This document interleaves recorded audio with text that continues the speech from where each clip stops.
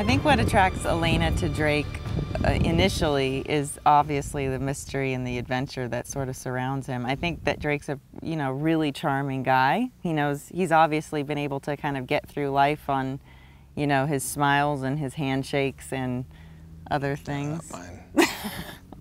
Drake smiles. I think uh, I think honestly one of the great things about what attracts her to him is kind of their chemistry and their partnership that she gets him because she's similar to him in her drive and her stubbornness and her you know her curi curiosity for the past and you know an unraveling story. So she understands that about him and is initially attracted to the danger of him. I think what, what attracts elena to drake is his vulnerability. And i think that's what a lot of uh, women who are fans of the game really seem to like. He's, he's he's just that, that ordinary guy who, who you know, is uh, just doing the best he can. Uh, and he's just put in these unbelievable circumstances. When I almost lost you before, You're not I, gonna. I just can't do that again. Of course, he is the, the charming, gallivanting hero that tends Yeah, to tends to get into situations. but what attracts Drake to Elena Who? yeah You're, you gotta finish that part Oh, Elena. yeah The is that the blonde one? yeah hmm Oh, I think what attracts uh, Drake to Elena the most is just the fact that she's compassionate, she's Mm-hmm. intelligent, she's. Um, we're talking about Elena, Yeah, so just know. relax. I know. Let's just cool the jets, cover it all up. very cool Uh, she's somebody who um, who recognizes his vulnerability. While you can.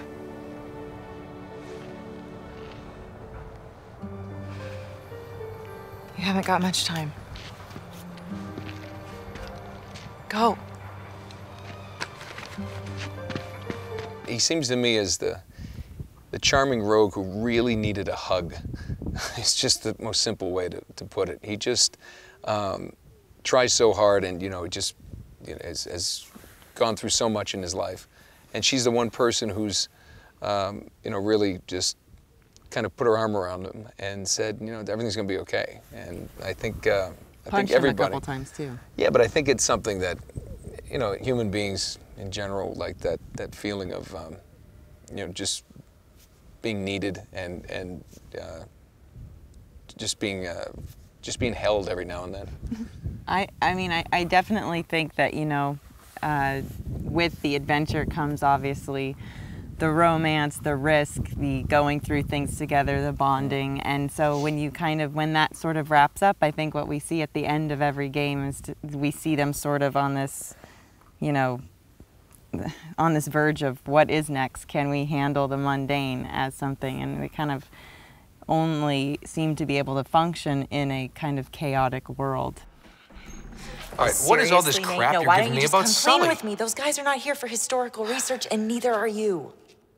And so, do they create those things as a way to function, or you know, do those things come to them just because of who they are? I, I don't know, but I think that that's something that Elena constantly kind of throws out there to to Nate is is what's his his need and his drive to always be in that sort of adventure place, and it's because people need to play video games. Come on, admit it. You love all this as much as I do. No. No, not anymore.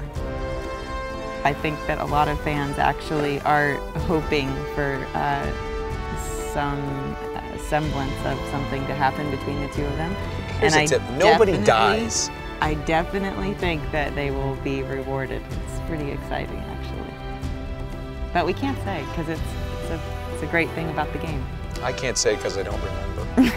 That is true. I was uh, I was I fell off a camel uh, here in Jordan, and uh, I don't know what day it is.